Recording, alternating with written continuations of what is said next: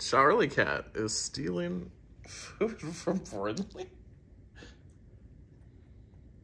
Really? What is Charlie Cat doing? Charlie's just gonna take a little bit, a bit of your food. Brindley, how do you feel about that?